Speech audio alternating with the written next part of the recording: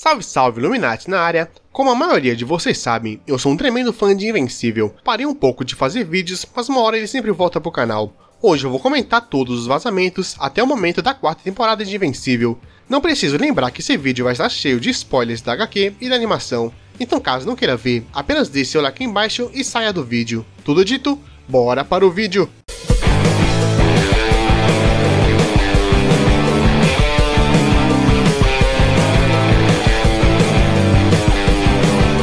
Para a terceira temporada de Invencível, alguns personagens já foram vazados ou tiveram alguma dica de sua aparição. Entre esses personagens estão Tech Jacket, que até então não tem um dublador confirmado, Capitão Pickle, Power Blacks e Conquista, que é o único que já tinha aparecido na série. Outro personagem que aparentemente vai estar nessa temporada é Treg, fazendo sua primeira aparição na animação. Outros personagens também foram vazados, mas esses têm imagens, que eu irei explorar logo logo.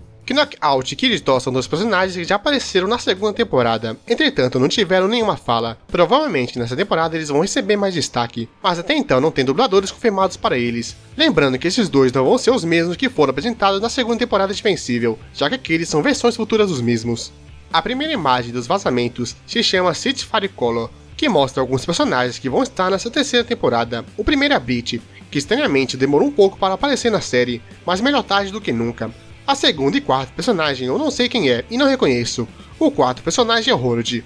O quinto personagem é o Invencível de Moicano, que é um dos invencíveis alternativos mais importantes da série. O sexto é o Invencível Cabeludo, que aparentemente não vai durar muito, já que sua arte é ele mostrado cair no chão aparentemente morto. O sétimo é o Oliver, o irmão de Invencível já com seu traje de Kid ao Miniman. A oitava eu pessoalmente não reconheço. A nona é o Robot, que já estava na primeira temporada. E por fim, o último é o Wolfman. Acho curioso ele estar nessa temporada, porque podemos então talvez ser uma adaptação do crossover de Invencível e Wolfman.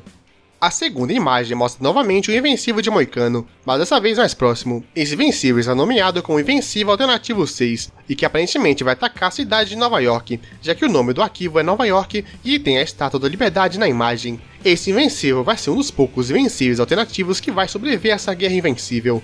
A terceira imagem mostra as roupas de Invencível criadas pela Atom Eve. Provavelmente ela vai estar com um mau funcionamento dos poderes, já que é o que está escrito no nome do arquivo. E se não me engano, algo semelhante ocorre nos quadrinhos.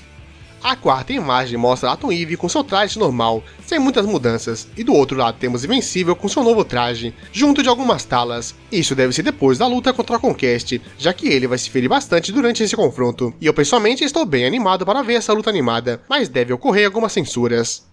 A quinta imagem mostra o herói barra ninja Best Tiger, um dos personagens que vai fazer parte dos Guardiões do Globo, e é apenas um humano comum com muitas habilidades boas. E não, ele não é cego, é que ele apenas confia tanto nas suas habilidades que se cega para ter alguma dificuldade. Outro personagem é o Mark Sinistro, ou Mark Canibal. Pelo nome da imagem, esse Mark deve atacar a cidade de Hong Kong, por isso os dois personagens estão na mesma imagem, já que o Best Tiger vem de lá. A sexta imagem nos mostra Carro. Ele é um personagem que aparece desde a primeira temporada, porém até então não tem nenhuma trama envolvendo ele, sendo algo original da série. Provavelmente vão finalmente focar alguma coisa nele, seja ele sendo vilão de algum episódio que o Mark tenha que enfrentar, ou que os Guardiões do Globo tenham que enfrentar em algum momento.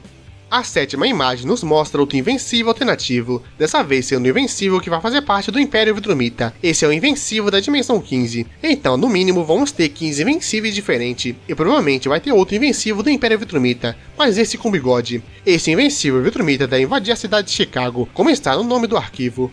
A oitava imagem nos mostra outro invencível, dessa vez o invencível de Jaquita, que está descrito como invencível da dimensão 2. Nessa imagem ele já está morto, e sim, muitos invencíveis alternativos vão morrer, e vão se tornar ciborgues do governo para lidar com ameaças sobre-humanas muito fortes, como os Viltrumitas.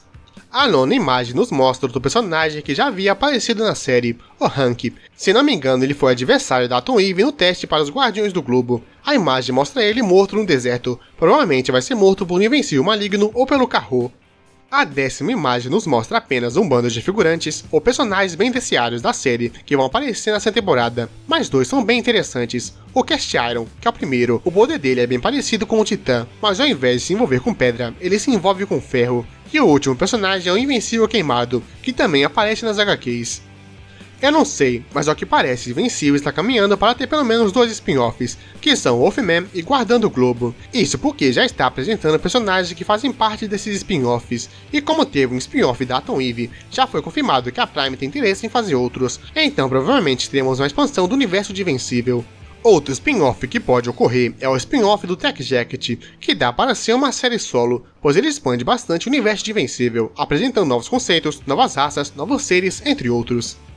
Realmente, Invencível teve muitos vazamentos, mas e aí, o que você achou deles? Tem alguma teoria do que pode mudar nessa temporada em comparação aos quadrinhos? Se sim, deixa nos comentários que eu vou ler e talvez responder, mas com certeza vou dar um coraçãozinho. Tudo dito, não se esquece de se inscrever no canal caso não seja inscrito, de deixar seu like e até a próxima!